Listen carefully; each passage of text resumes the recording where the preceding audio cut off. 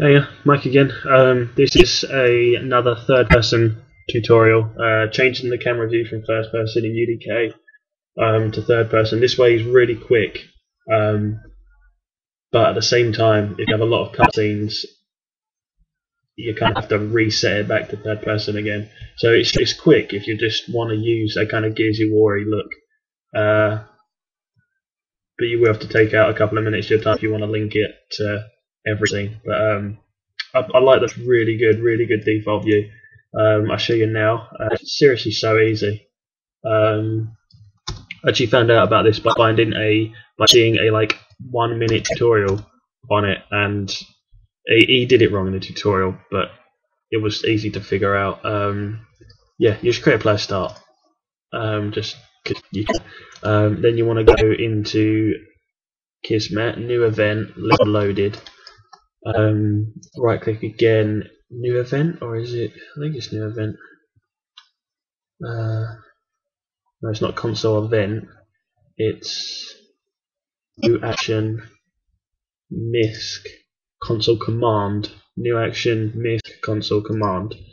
Your link loaded and visible, and also beginning of level in. Then you want to right variable uh, player target with player.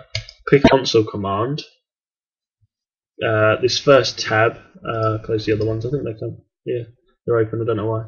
First tab, commands, um, you click on a little thing so it comes down, and in this zero, there's a box here, click here, and then you literally just type in behind the presenter, and that's it. Like, it's obviously built in and default. Um, uh, yeah, this is the view. It's very nice angle.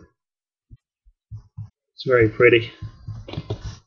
Um, but like I said, uh, if you have a, if I now something happens, I stand a button or I press a button and then uh, it shows a cutscene. I show a cutscene with a, um, when it comes back, it'll be in first person view.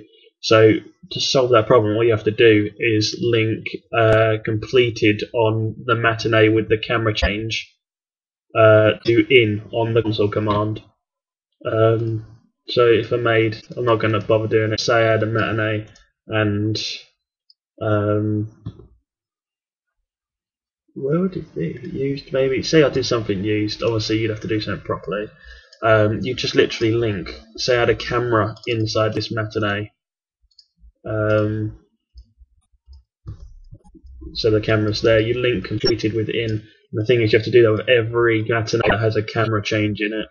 Um, so it can get a bit messy, but it's such a great view. Um, yeah, that's literally it. Thank you for your time. Again.